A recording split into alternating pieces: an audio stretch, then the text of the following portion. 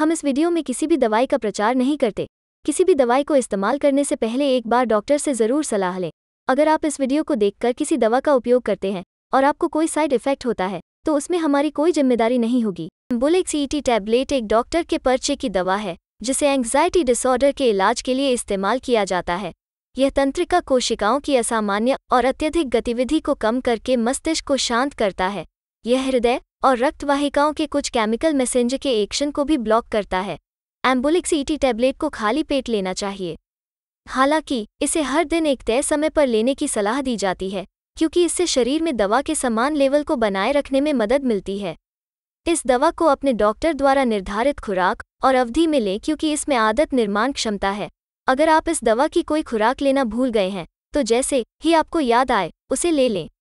चाहे आप बेहतर महसूस करें तो भी इलाज का पूरा कोर्स खत्म करें। ये आवश्यक है कि इस दवा को अचानक से लेना बंद न करें क्योंकि इसके कारण विड्रॉल लक्षण हो सकते हैं। यह दवा लेने के दौरान शराब के सेवन से बचें क्योंकि इससे दवा का प्रभाव कम हो सकता है। इस दवा के कुछ सामान्य साइड इफ़ेक्ट में उलझन, याददाश्त बिगड़ना, धीमी हृदय गति, थकान और बुरा सपना शामिल हैं। इससे चक्कर आने और नींद आने जैसी समस्याएँ आ सकती हैं।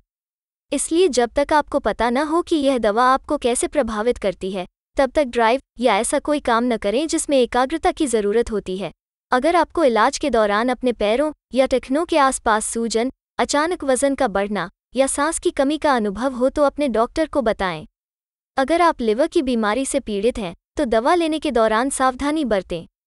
आपके डॉक्टर को अन्य सभी दवाओं के बारे में भी जानना चाहिए जो आप ले रहे हैं। क्योंकि इनमें से कई इस दवा को कम प्रभावी बना सकती हैं, या इसके काम करने के तरीके को बदल सकती हैं। अगर आप गर्भवती है, प्रेगनेंसी प्लान कर रही है, या स्तनपान करा रही हैं तो अपने डॉक्टर को बताएँ। वीडियो को पूरा देखने के लिए धन्यवाद।